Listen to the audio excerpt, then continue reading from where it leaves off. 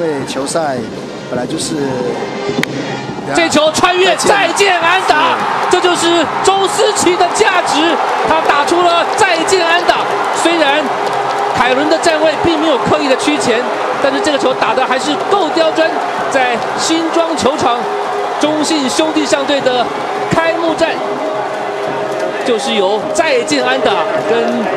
对手义大犀牛说拜拜，那么中信兄弟象队拿下了两连胜，也让义大犀牛吞下了三连败。非常精彩的一场比赛了哈！当然，在整个一哈，在整个一个布阵上，当然是有总教练的一个考量。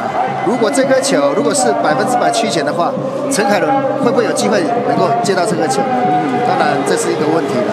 啊，当然整个决定权还是在总教练这里。呃，所以说在任何的一个关键，哦，在整个一个比赛的一个胜负，这场比赛是真的是非常非常精彩。好，我们休息一下，再回到现场。